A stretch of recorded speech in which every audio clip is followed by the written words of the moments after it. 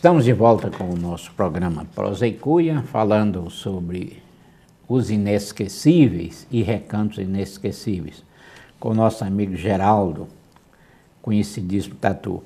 Mas no segundo bloco, do segundo para o terceiro, paramos naquela parte que você, sabiamente, Sim. gerou com a ajuda de Dona Denise, Denise nossa caríssima estagiária de Direito na Codevasf. Um casal, né? Um casal. Um casal. Isso. E a Sabu, se não me falha a memória, ele teve mais de 20 filhos, não? 27 filhos. 27. E há uma curiosidade aí que eu não sei muito com precisão, talvez você saiba, conviveu mais com ele, sobre o nome dos filhos. Ele tem Alain, Adam, Ajan, Acan, Avan. Tudo, tudo, com a letra A. Tudo com a letra A. Que, assim, nessa sequência, né? Aí tem um detalhe. Tem uns netos de Sabu que estão nadando hoje na praça de esporte. Nada igual a ele. Os netos. É mesmo? É. Então vamos mudar aqui, não é filho de peixe, não. Filho de sabu já nasce nadando. Já, já nasce nadando. Tá Inclusive tá tem um neto dele também, que é craque. Jogou no Cruzeiro, hoje está em Portugal, que é o Alonso. Ah. Lateral, foi lateral esquerdo do Cruzeiro, está em Portugal. Olha então, a tradição de Sabu no esporte Montes Claro, eu mesmo eu tiro o chapéu para ele.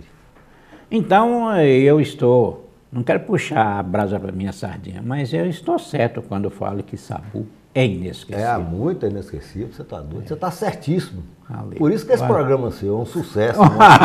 Bondade, não certo? precisa você tanto. Tá resgatando. esse pessoal, uhum. certo? É, é, é os que fizeram Montes Claros, para a gente não esquecer desse povo. E o que você está fazendo nesse programa seu é sensacional. Muito obrigado, muito obrigado. Vamos falar um pouco agora sobre Sabu, o cidadão. Né? É um menino, um jovem que veio de Brasília, de Minas, para Montes Claros, não é Claros, isso? Isso.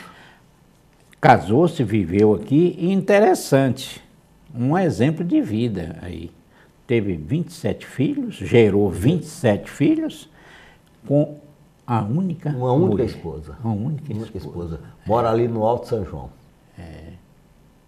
Certo? E as filhas dele hoje, os filhos dele convivem lá, certo? Uma família assim, tradicional mesmo de Montes Claros. Ele deixou esse exemplo para os filhos dele. É. é, aí é que eu falo, telespectador. Não estou puxando a orelha de ninguém, não. Mas por que um exemplo de vida? até nisso, sobre isso, porque família é tudo. É tudo. É, meu amigo Petrônio Braz sempre falava nas palestras que ele fazia lá na minha sala, na Unimontes, que a família é a célula máter da sociedade, beleza? E é uma realidade, ninguém pode negar. E Sabu também deu um exemplo de vida conjugal, né? muito, gerando filhos muito maravilhosos. maravilhosos. É. Assim, você olha, eu encontro com as filhas dele na rua, converso. Eliette mesmo eu tive com ela esses uhum. dias.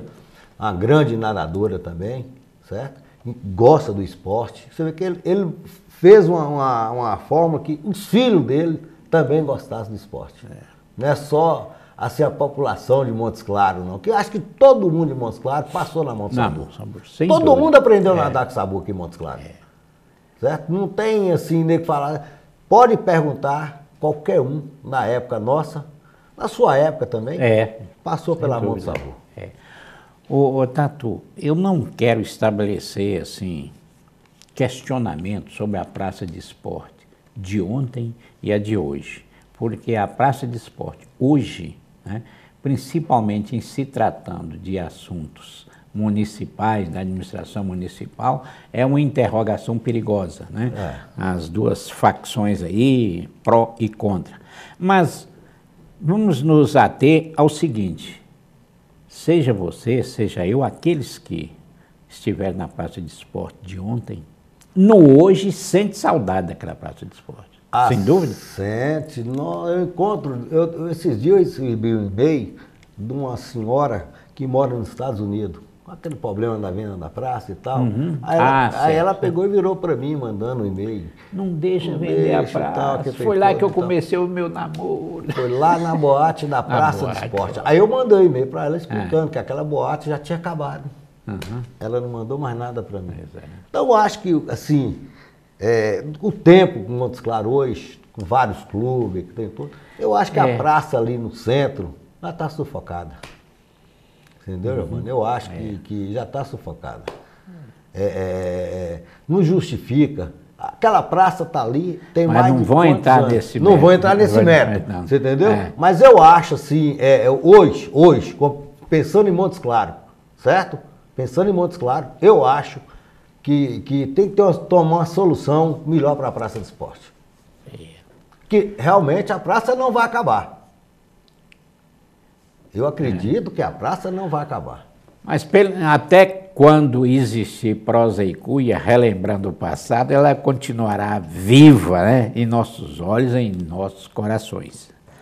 É uma realidade.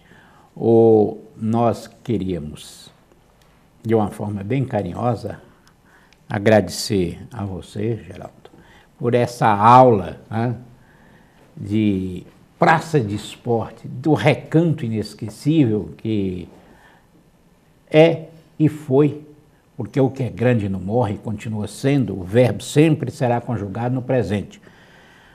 Porque você deu uma verdadeira aula, coisas que você falou, eu sou mais velho do que você, aliás, você não é velho, você é jovem, né?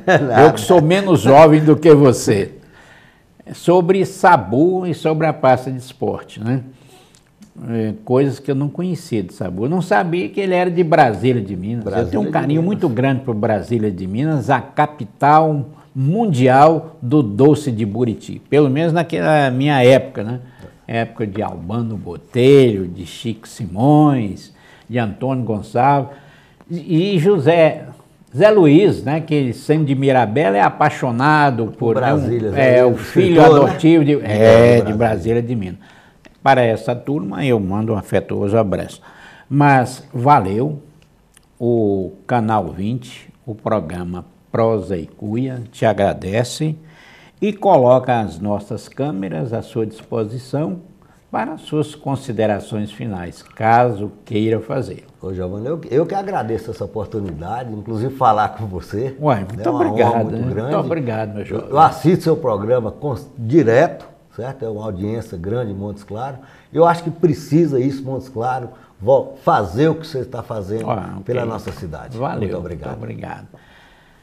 Nós sairemos do ar agora o programa Prosa e Cuia com aquela afirmação. Quando a coisa boa o tempo não caminha, o tempo voa.